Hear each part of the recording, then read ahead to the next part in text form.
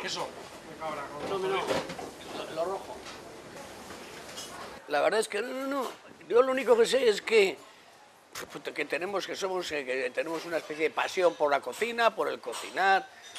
La gente de nuestro pueblo también nos ayuda mucho, le gusta mucho el- eh, todas estas cosas del cocinar y de todo esto. Oye, y, y- y no sé por qué. La verdad es que no, no, y la o sea, el- el pueblo más sencillo hasta el más alto, su única vida es el cocinar.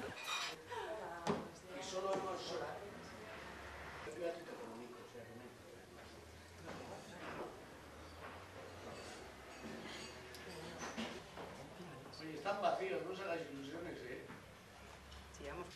Comer nos gusta a todos, pero nosotras especialmente nos gusta probar cosas diferentes y en casa comemos todos los días, pero hemos venido aquí un poco por, por probar esas esos diferencias que tiene con el resto de restaurantes de todo el mundo y efectivamente cuando te van explicando los platos, eh, los ingredientes que lleva, que inclu- incluso ni los ves, tú pruebas ese plato y es una cosa totalmente diferente a lo que has probado en cualquier lado.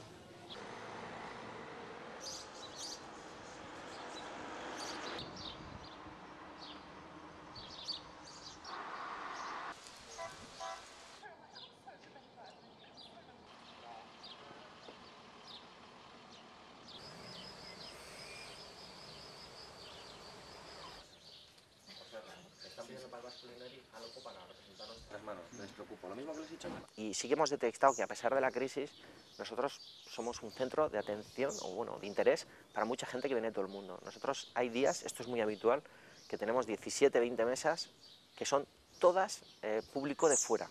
Además de todo el mundo, o sea, no es que venga de más de un lugar o de otro, es, de- es gente de todo el mundo. Podemos tener mesas de Israel, gente que viene de China, de Estados Unidos, de Inglaterra, de toda Europa, ¿no?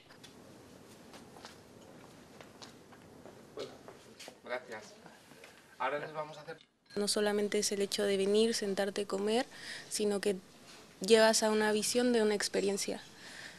Esa experiencia eh, se convierte en, en algo no solo de convivencia con alguien que tú quieras venir, sino en una experiencia propia, donde rompes con las reglas que a lo mejor tú tienes.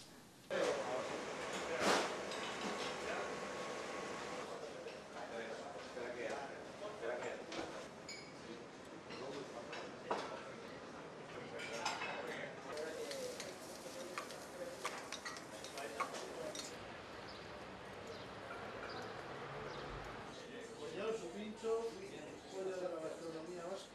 Que aproveche, señor, muchas gracias.